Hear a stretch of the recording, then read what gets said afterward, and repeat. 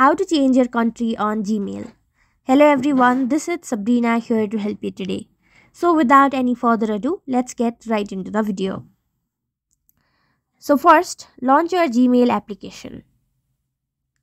Then open the account in which you want to change your country location.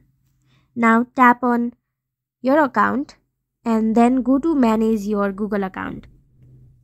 After that, you will lead in this interface. Now go to personal info, scroll down and then in the section of addresses, simply go to home and then from here change your country accordingly.